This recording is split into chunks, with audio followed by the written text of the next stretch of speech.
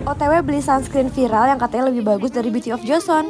Jadi kemarin aku ngeliat ada TikTok viral dari beauty tiktoker Korea. Si Oni itu bilang katanya, hah apa tuh sunscreen Beauty of Joseon? Menurut dia sunscreen yang paling banyak dibeli di Korea dan paling terkenal itu bukan Beauty of Joseon tapi Round Lab. Karena aku sekarang emang lagi pakai dan suka banget sama sunscreen Beauty of Joseon. Jadi aku penasaran langsung aja kita beli. Aku langsung meluncur ke Olivier buat cari sunscreennya